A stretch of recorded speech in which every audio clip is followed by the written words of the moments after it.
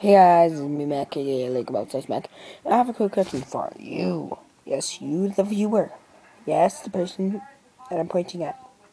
You right there. The person sitting at that computer. Yes, you. I have a question for you. Uh, I'm looking at getting a new gun for paintball.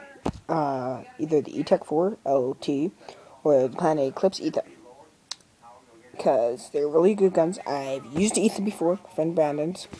And I've seen people use the Etek 4 before. It looks like a, they're both really smooth guns. And they shoot really good. And those are my personal opinions. You guys might have, a, whoa, this gun sucks or something. Those are my personal opinions. But if you guys have a different gun, around the 500 buck range, not the axe. I am not getting the axe. I hate the axe. It's a complete copy of Mini. The only thing really different is the bolt and the frame.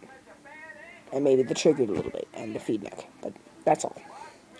And I'm not getting an axe or a Mini. Hate them. No offense to all those Mini and axe lovers out there. I do not like them. Worst guns ever. Yeah. Well, there are worse guns, but I don't like it. Ooh. I don't know.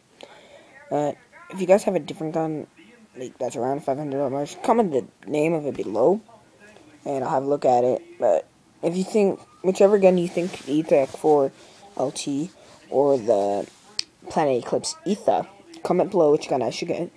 And, yeah. So, yeah. So please comment, rate, subscribe, and, yeah.